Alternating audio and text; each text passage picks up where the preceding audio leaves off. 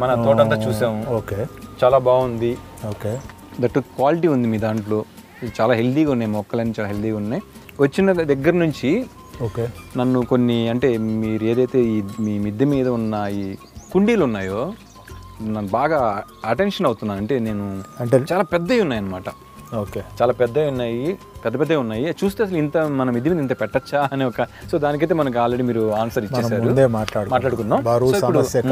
అయితే ఇప్పుడు మా వ్యూవర్స్కి ఎందుకంటే ప్రభుత్వం రెడ్డి గారు అంటేనే చాలా సందేహాలకు సలహాలు ఇస్తూ ఉన్నారు.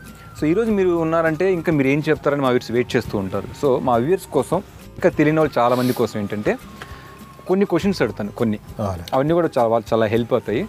సో ముందుగా నా క్వశ్చన్ ఏంటంటే మిద్దె మీద మిద్దెతోట పెంచుకోవాలి అనుకునే వాళ్ళకి అంటే కుండి ఏ సైజులో ఉంటే మంచిది? అలాగే కుండీలు సిమెంట్తోనే కావాలా? లేకపోతే ప్లాస్టిక్ మంచిదా? సో వాటి ఎందుకు కొంతమంది సిమెంట్ కొంతమంది ప్లాస్టిక్స్ ఇట్లన్నీ ఉంటాయి. సో ఆ తేడా ఎందుకు? ఆ తర్వాత మళ్ళీ మనం ఒక కుండీలోంచి ఇంకో ఇంకో కుండీలోకి మొక్కలు మార్చుకోవాలంటే ఎలా మార్చుకోవాలి?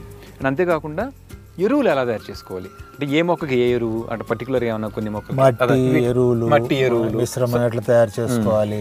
సో అట్లాంటి విషయాలు మనం వరుసగా మాట్లాడుకుందామండి. మనకు పెరటి తోటల సేద్యానికి మిద్దె తోటల సేద్యానికి ప్రధానంగా ఒకే ఒక తేడా ఉంటుంది. మిగతా అదంతా సేమ్ సేమ్. ఓకే. ఆ తేడా ఏమిటి? ఆ ప్రత్యేకత ఏమిటి అంటే మన మిద్దె మీద సాధనాలను అమర్చుకోవడం మటుకే తేడా ఉంటుంది. మిద్దె మీద మొక్కల్ని పెంచుకోవడానికి సాధనాలు అవసరం. పాత్రలు అనొచ్చు కుండీలు అనొచ్చు వాటిని టబ్బులు అనొచ్చు లేదా బెడ్స్ అనొచ్చు. ఇవి ఎటువంటి అయితే బాగుంటాయి? ఏమేమి ఉన్నాయి అసలు? వాటిని మనం ఎట్లా ఏర్పాటు చేసుకోవాలి అనేది మిద్దె తోటల సేద్యంలో మొదటి దశ ముఖ్యమైన దశ అది. ఈ మిద్దె తోటలు కట్టుకోవడానికి ఆలోచనలు చేసేటప్పుడు మనం ఎట్లాగా ఏర్పాటు చేసుకుంటే బాగుంటుంది అని చెప్పి ఆలోచించడం మంచిది తగిన నిర్ణయం తీసుకోవడం మంచిది. మనకి ఏమేమి ఉన్నాయి అంటే ఇటుకలతో మడులు కట్టుకోవటం ఒక పద్ధతి ఉంది.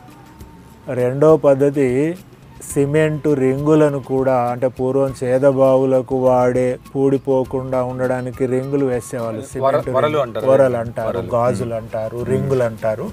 అంచేత అట్లాంటి రింగులను కూడా మనము మిద్దె తోటలో బెడ్స్కి బదులుగా వాడుకోవచ్చు. ఆ రింగులకు అడుగున మనం ఒక గుండ్రని బిల్ల వేసి ఆ బిల్ల మీద మనం రింగును కూర్చోబెట్టి అతికించి మనం దాన్ని కూడా వాడుకోవచ్చు. అదేవిధంగా ఫైబర్ టబ్బులను కూడా వాడుకోవచ్చు. ప్లాస్టిక్లను వాడకూడదు. ప్లాస్టిక్లు ఎండలకు తొందరగా విరిగిపోతాయి. కొంత మట్టిలో కలిసే ప్రమాదం కూడా ఉంటుంది కనుక ప్లాస్టిక్ పాత్రలు వాడకపోవడం మంచిది. సో ఫైబర్ కా ప్రాబ్లం ఫైబర్కి ఆ సమస్య లేదు.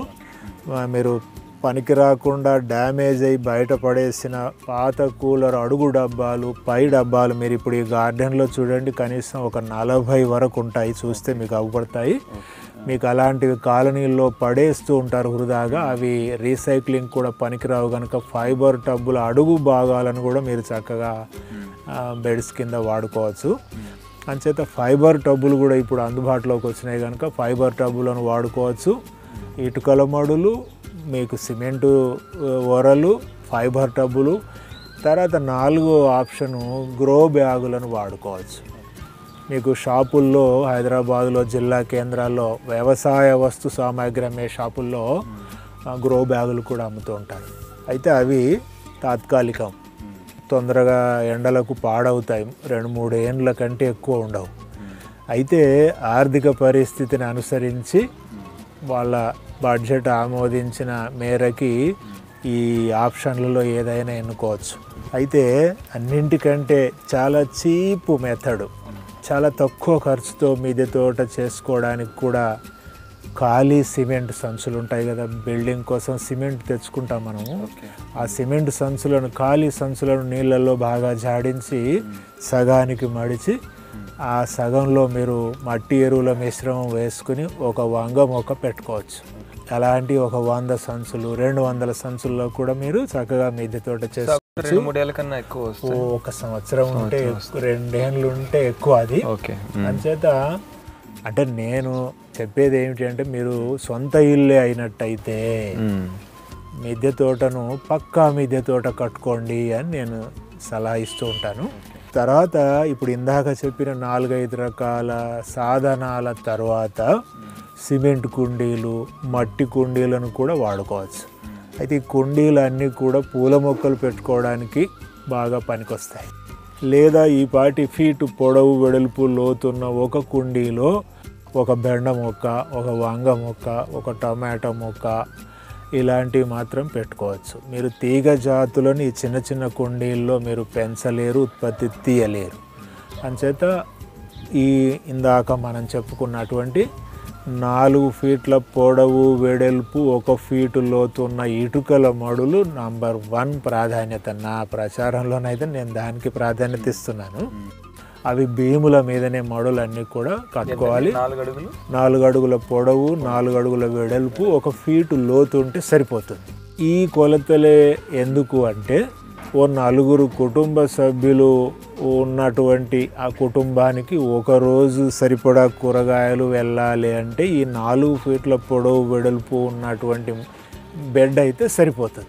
అంటే పదహారు స్క్వేర్ ఫీట్ల బెడ్ అవుతుంది పదహారు పొదజాతి మొక్కలు పడతాయి. అంటే పదహారు బెండ మొక్కలు ఆ మడిలో ఉంటాయి. ఆ పదహారు బెండ మొక్కల నుంచి మనకు పదహారు కాయలు వచ్చినా సరే ఒకరోజు ఒక చిన్న కుటుంబానికి సరిపోతాయి కనుక ఈ పాటి ప్రమాణం కలిగిన మడిని నేను ఎంచుకున్నాను. ఈ పది సంవత్సరాల అనుభవంలో అది పర్వాలేదు. అయితే దానికి కాస్త ఎక్కువ తక్కువ చేసుకొని ఎవరైనా కట్టుకోవచ్చు. లోతు ఫీటు ఉంటే సరిపోతుందా అంటే కూరగాయ మొక్కలు అన్నింటికి కూడా ఒక ఫీటు లోతు మట్టి ఉంటే సరిపోతుంది. ఎందుకంటే ఆరు అంగుళాలకు మించి ఏ కూరగాయ మొక్క వేళ్ళు కూడా లోపలికి వెళ్ళవు. అంచేత పండ్ల మొక్కలు పెంచుకోవాలనుకున్నప్పుడు మటుకు రెండు ఫీట్ల లోతు మూడు ఫీట్ల లోతు ఉన్న మంచిదే.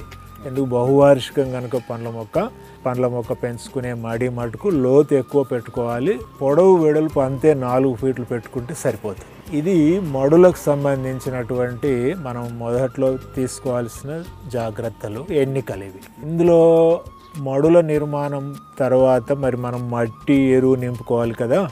ఎట్లా అని మీరు ఇందాక అన్నారు కనుక మట్టి ఎర్రమట్టి నల్ల మట్టి రెండు రకాలు దొరుకుద్దండి. ఏది అందుబాటులో ఉంటే అది వాడుకోవచ్చు.